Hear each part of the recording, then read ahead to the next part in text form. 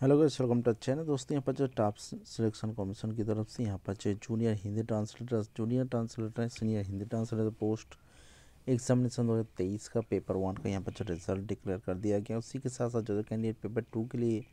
जो कि descriptive paper है, उन सभी का नाम भी यहाँ पर जो आ चुका है। तो सबसे पहले जो नोटिस दिया गया, जहाँ पर कितना सारे कैंडिडेट को यहाँ पर जो सिलेक्टेड किया, उन सबका नाम यहाँ पर दिया गया है, उन सबका जो डिटेल्स दे दिया गया है। तो देख सकते हैं यहाँ पर जो ऑफिशियल नोटिफिकेशन जहाँ पर आप लोग का जो एग्ज़ाम होता है, वो सोलह तारीख को होता है। उसी के बेसिस पर यहाँ पर जो टोटल बात करें, दो हज़ार दो सौ चौहत्तर कैंडिडेट के यहाँ पर जो सॉलिसिट कर लिया गया, जहाँ पर S C S T O B C W S C वार उसके साथ साथ P W B D category सभी कैंडिडेट को यहाँ पर जो शामिल कर दिया गया है। तो उसके बाद बात करें यहाँ पर जो डिस्क्रिप्टिव पेपर के तो वो यहाँ पर बोला जा रहा है कि शेड्यूल किया गया मतलब इस साल के एकदम लास्ट डेट मतलब इकतीस बारह दो हज़ार तेईस को यहाँ पर जो शेड्यूल कर दिया गया है। तो इसके बाद यहाँ पर जो आप लोग को अपना जो